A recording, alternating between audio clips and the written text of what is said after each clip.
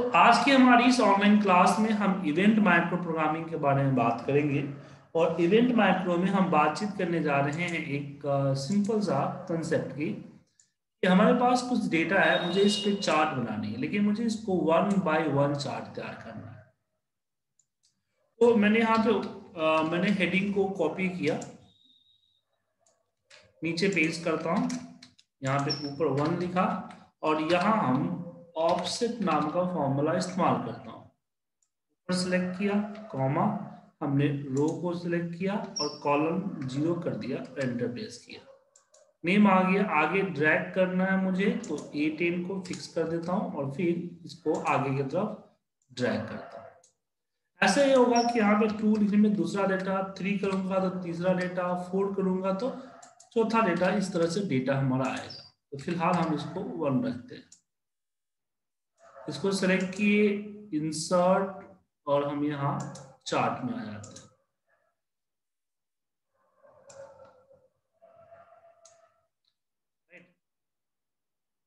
तो मैं चार्ट को यहाँ रखता हूँ। अच्छा चार्ट बना लेता हूँ। मैं चाहता हूँ कि मैं जैसे पूजा पे क्लिक किया तो चार्ट पूजा का आना चाहिए। नीरज पे क्लिक किया तो नीरज पे आ गया, कविता पे क्लिक किया तो कविता पे आना चाहिए राइट जी सर। तो चलिए हम आपको बताते हैं कैसे करेंगे। राइट क्लिक यहाँ पे व्यू कोड अब जो हम करने जा रहे हैं वो करने जा रहे हैं इवेंट माइक्रो प्रोग्रामिंग तो जिस सीट पे है उसी सीट पे होगा। तो डबल सीट पे इस पे मॉड्यूल्स इंसर्ट नहीं करेंगे। तो वर्कशीट और यहाँ से सिलेक्शन चेंज बाय डिफ़ॉल्ट आ जाता है बट आप नहीं आए तो चेंज कर लीजिएगा। फिर हमने यहाँ बोला कि range 18 range 18 dot value equal to cell dot row minus one हाँ रो माइनस वन क्योंकि इस पे क्लिक करेगा तो टू आएगा ना बट यहाँ तो वन चाहिए ना मैं जैसे मैंने यहाँ क्लिक किया दिख रहा है सर क्लियर है? तो ये जो मेरा ये जो कोड है कोड कब परफॉर्म कर रहा है? जब मैं किसी सेल पे क्लिक कर रहा हूँ। समझ में आया आपको? जैसे मैंने यहाँ पे क्लिक किया इसका जो रोल नंबर है उसमें माइनस वन करके यहाँ प्रिंट कर दे रहा है। यहाँ प्रिंट कर रहा है तो वो ऑप्शन अपना रिज़ल्ट चेंज कर रहा है। जैसे ऑप्शन रिज़ल्ट चेंज कर रहा है चार्ट भी चेंज हो रहा है।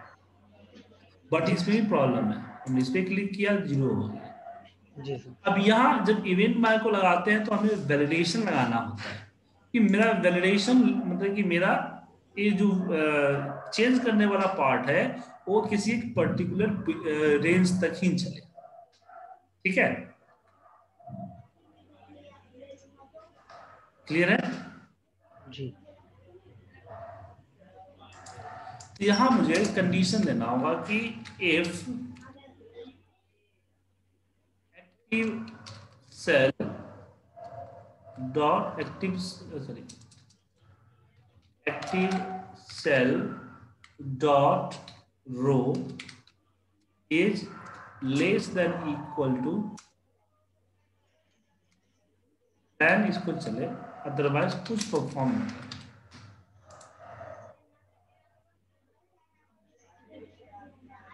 तो नीचे क्लिक किया बियॉन्ड क्लिक किया तो वर्क कर रहा है? नहीं कर रहा है?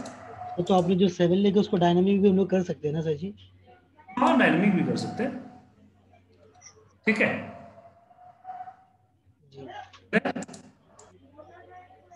इसी का एक और एग्जांपल मैं दूँ आपको यहाँ पे कि मैं चाहता हूँ कि जहाँ मैं क्लिक करूँ मैं पूरा डेटा ये पूरा हाईलाइटेड हो इसमें कोई और कलर ना हो लेकिन जिस पे क्लिक करूँ वो पूरा इस तरह से हाईलाइट हो जाए। समझे? जी। तो मैं सीट टू पे जाऊँगा। सिलेक्शन यहाँ पे वर्कशीट और सिलेक्शन और यहाँ पे मैं करता हूँ। रेंज स्टार्ट है हमारा एक्टिव सेल एंड है हमारा लास्ट इसको डायनेमिक कर देता हूँ। Cell dot end Excel to right होगा। टू राइट होगा ना? टू लेफ़्ट होगा? राइट लेफ़्ट होगा। Dot interior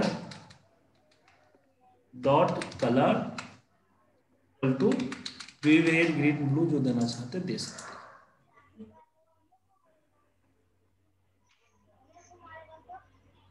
राइट होगा sir Excel to right right होना चाहिए था।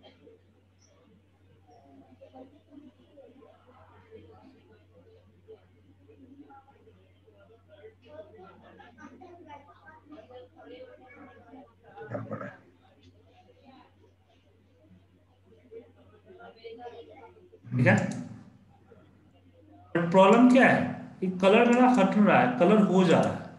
अब चाहते नहीं जिसपे कर्सर हो, सिर्फ़ उतना ही कलर हो, बाकी कलर ना हो तो आपको यहाँ पे लगाना होगा cells dot interior dot colour equal to Excel N O N E none अब देखिए काफ़ी ज़्यादा इंटरेस्टिंग है सर जी आज का टॉपिक तो। बहुत इंटरेस्टिंग है सर अब एक पर्टिकुलर एरिया तक ही परफॉर्म करें तो इसमें अच्छा सर सर ये जो आपने एक्टिव सेल वाला जो दिए हो ये सिर्फ़ और सिर्फ़ नेम ए कॉलम पे करेगा काम कि बी पे अगर मैंने क्लिक किया तो उस पे भी काम करेगा बी पे भी नहीं हाँ ए पे ही क्लिक करेगा। बी पे अगर क्लिक कर तो कुछ ऐसा तिकड़म बढ़ा सकते हैं जिसमें हम लोग उस पर्टिकुलर रो में फोर में अगर कहीं पर भी मैं क्लिक करूँ तो पूरा रो सेलेक्ट हो जाना चाहिए। ये हो जाना ऐसा अगर है, ऐसा अगर करना चाहते हैं तो फिर आपको एक्टिव सेल नहीं देना पड़ेगा। यहाँ पे आपको फिर इस कोड को चेंज करना पड़ेगा। देखिए चेंज करता हूँ मैं इस कोड को। मुझे यहाँ लिखना होगा रेंज रेंज में होगा सेल्स सेल्स में होगा रो नंबर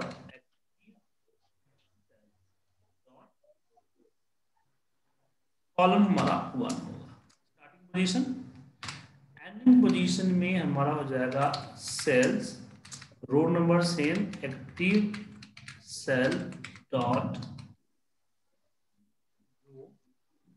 और कॉलम नंबर हो जाएगा active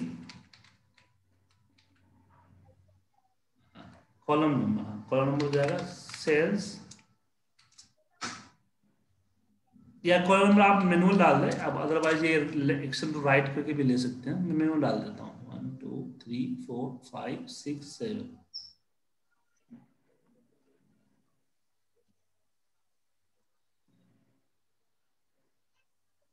dot interior dot colour equal to अब क्या होगा? कि मैं कहीं भी क्लिक करूँगा पूरा कॉलम करेगा। सर एक बार इसको समझा देंगे सर जी आपने जो कोड लिखो एक बार। क्या कुछ नहीं समझ में क्या है? यहाँ पे एक्टिव सेल है एक्टिव सेल की जगह पे मैंने सेल दे दिया कि एक्टिव सेल का रो और पहला कॉलम जिसमें यहाँ पे कर क्लिक किया जैसे फोर थ्री पे क्लिक किया। तो active cell dot row three रहेगा तो यहाँ पे थ्री कोमा वन सेल्स को मिला तो ए थ्री आ जाएगा। और एंडिंग पोजिशन क्या हो गया? भाई सेम एक्टिव थ्री और सेवन तो ये सेवन मतलब कि जी थ्री हो गया तो ए थ्री से जी थ्री इसको मिल गया।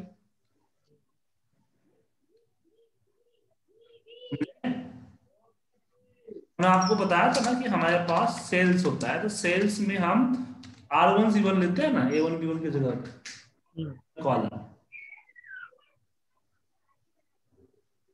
आप सुन रहे हैं कि नहीं? इस्तेमाल कर सकते हैं।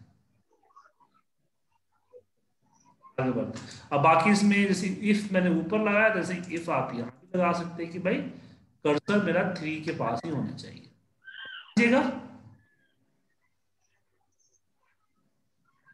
एक और। जैसे आ, मैं यहाँ पे नेम लिखना चाहता हूँ और मैं लिखना चाहता हूँ यहाँ पे नेम लिखना चाहता हूँ डेट एंड टाइम अच्छा तो जैसे मैं अपना नेम यहाँ पे लिखूं एंटर प्रेस करते ही ऑटोमेटिकली यहाँ पे डेट और टाइम ध्यान से देखिएगा सर। तो कैसे होगा? तो हम सीट थ्री पे जाते हैं और इस बार सिलेक्शन नहीं, इस बार हम करते हैं चेंज क्या करते हैं? चेंज कि कोई भी चेंज होगा तो अब यहाँ पे चेंज कहाँ पे हो रहा है? ए, यहाँ पे दिख रहा होगा टारगेट एज रेंज मतलब जहाँ पे मैं क्लिक करके चेंज करूँगा, वो टारगेट पे असाइन हो जाएगा।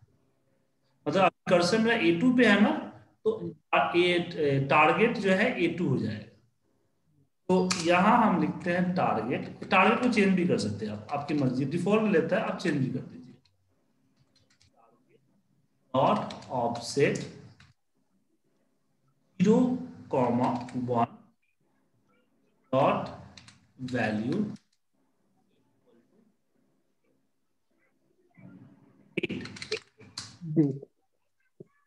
और यहाँ पे क्या हो जाएगा? Two nine now time time का फॉर्मूला होता है। क्या लग रहा है वर्क करेगा? नहीं वर्क करेगा। हमने क्या बोला है कि भाई ये माइक्रो कब चले? जब हम चेंज करें। और माइक्रो क्या कर रहा है? वो भी तो चेंज कर रहा है ना? क्या? फिर वो डेट डालेगा तो डेट डालना भी तो चेंज ही हुआ ना।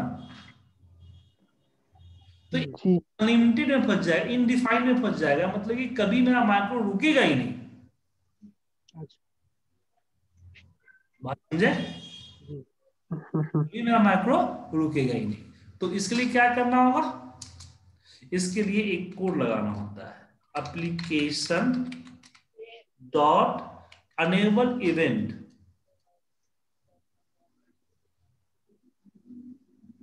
equal to false और फिर नीचे जो है आपको इक्वल टू ट्रू करना होगा। समझे? मतलब कि इस डेट को डालते समय ये जो इवेंट मार्को का रन होता है उसको हमने पॉज कर दिया।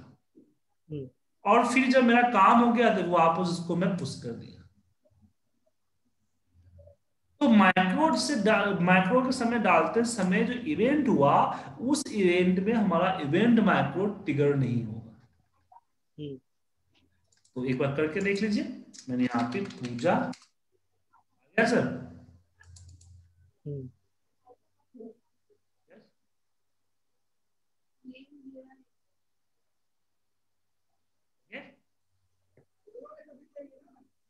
मतलब कोई भी एंट्री करो वहाँ पर उसका डेटा टाइम वहाँ पर आ जाएगा। सर अगर हम अगर नेम को चेंज करेंगे तो भी दोबारा भी रिवाइज टाइम आएगा उस पे। जी है जी है।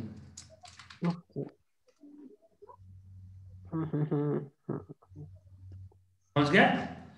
इसमें भी आप कंडीशन लगाइएगा, जैसे कि हमने पहले में लगाया हुआ है, कि वो कॉलम ए में वर्क करे, बाकियों में वर्क ना करे। समझे?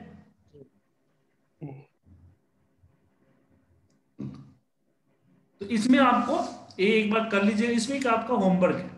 आप सभी को इसका होमवर्क है, सर। अभी करना है आपको, अभी।